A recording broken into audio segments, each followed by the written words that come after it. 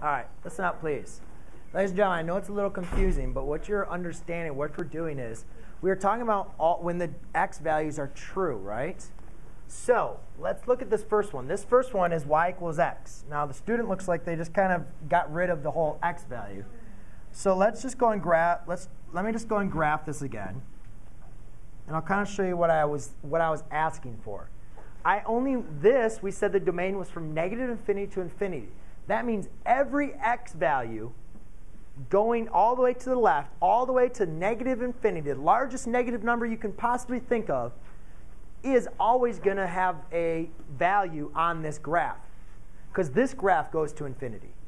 Now, what I wanted you to do is I only wanted you to graph this graph when my x values are less than negative 2. So let's look at this point right here. This point is when x is equal to 1. This point is when x is equal to 2. And this one is when x is equal to 3. Do those fall under this constraint? No. So what? guess what? We're going to erase them. I only want the, I only want you to graph this when x is less than negative 2. So let's go where negative 2 is. Right? So x is less than negative 2 at this dot right here. Now, looking at this inequality symbol. Remember when we were graphing linear inequalities? When it's less than, does that mean it includes the point or does not include the point? Does not include. So therefore, we're going to leave the point open or closed open. So I make a nice big dot at x equals negative 2. I get rid of it. So all you guys had to do for this graph is erase the rest and then make an open dot. Now for this one. This graph originally looked like that, right? It went from infinite, negative infinity to positive infinity. But I only wanted the values that are when x, the only values of x between negative 2 and 2. So I go to negative 2, and I go over to positive 2. And that's exactly what the student did. We only want to graph when it's between these two values. So I look at my graph and I say, where are these two values? Now, they wrote dots, but I want to make sure they're um, prominent dots. It does x include negative 2? Yeah. Yes, it's equal to, right? So we're going to do a nice big dot. It doesn't include 2. Okay? Now, the last one this one was kind of difficult because um, you could see this one looked like that. So again, this student, I said only graph when the x values are greater than 2. So I look at 0. At, when x equals 0, I have this point. Is that a part of my graph anymore? No, it's a part of this function, but I don't want I only want to graph it when x is greater than 2. So I go to 2 and I say from here on. And that's exactly so the rest of this gets deleted. Does everybody understand that? your graph, you can graph it first with infinite domains, depending on what the function is. Then I'm going to give you a constraint. All right? Now, what I'd like you guys to do, um, actually for time purposes, what I'm going to do is what we do is this is what we call piecewise functions. So what we do is we take three, two or three separate functions, and what we do is we break them down separately. Now, a piecewise function, all you're going to have to do for your homework, what you're going to work on, is graph them all on the same graph. So we broke it down step by step. However, when, add, when, bring, when you bring these all together, they create a piecewise function. So let's all graph all three of these on the same plane.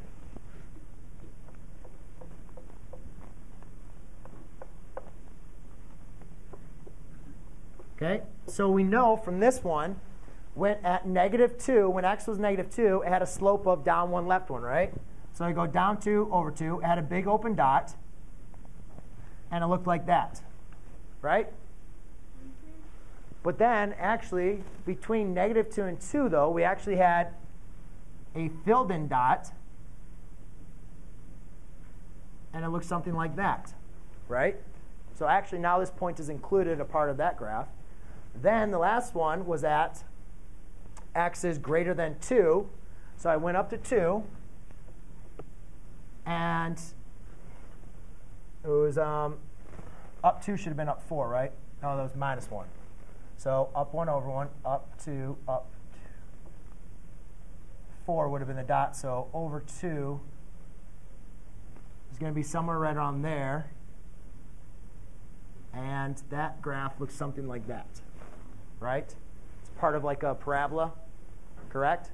So what I did, ladies and gentlemen, is, is now I've written all three of these graphs all on the same plane.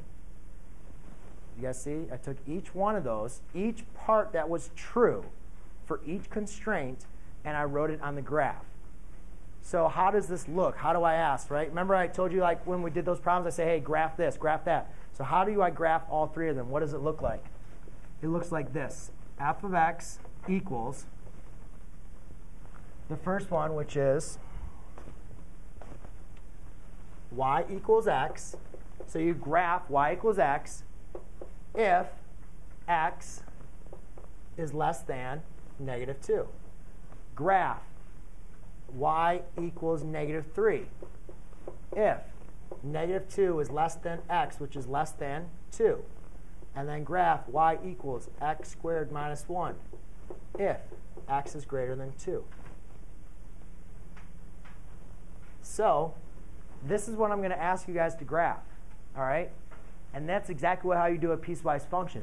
You take each one of these graphs and you graph them. But you don't graph them on an infinite domain.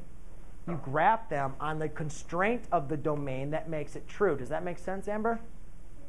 Because you guys really need to understand this because it's going to get very confusing when you try to do this if you don't understand it because you're not looking up at the board when you have that. Graph each one of these functions just like you guys did but don't graph it for the infinite domain. Graph it for the constraint on the domain. Make sense? And we'll try one now, see if you guys can do it. Yes? Um, that dot right there, is, should that be open or closed?